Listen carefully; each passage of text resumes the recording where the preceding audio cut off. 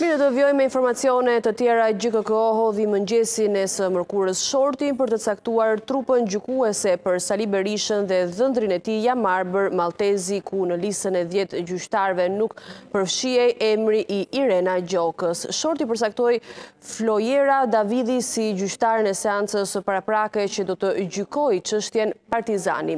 Gjyqtarja e Korçës do të jetë ajo që do të vlerësojë nëse dosja kalon ose jo për gjykim.